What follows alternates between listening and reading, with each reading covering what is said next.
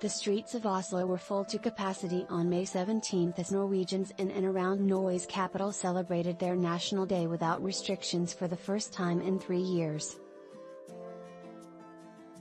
Norway's Constitution Day celebrates the signing of the Norwegian constitution in Eidsvoll in 1814.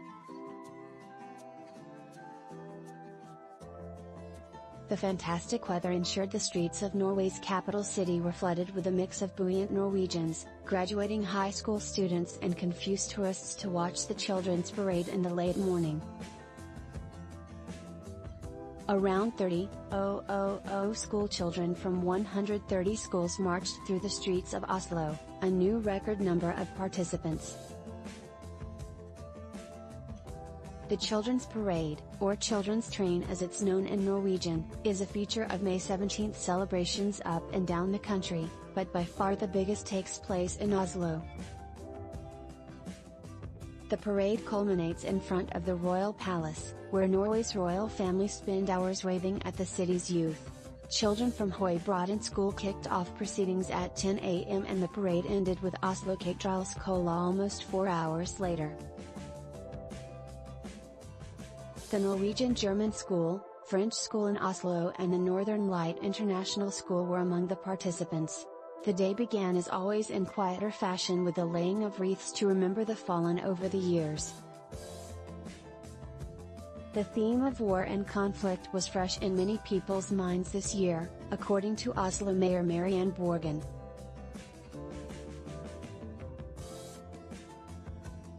Having 30,000 kids who celebrate our democracy, peace and community is extra important now when many experience insecurity due to war and conflict, she told NRK. Norway has taken in many refugees from Ukraine in the past months and they were included in the day's celebrations in many parts of the country.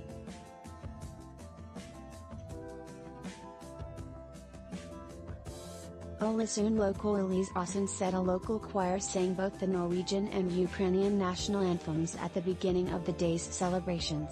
As war is raging to the east of us we have learned to appreciate peace and freedom, she added.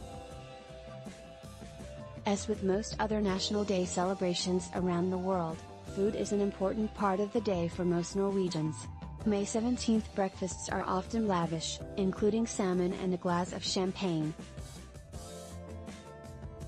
Later in the day, friends and family often gather at homes or in restaurants to spend hours celebrating the day over a multi-course meal. Once the children's parade was over, other events took place throughout the day across the city.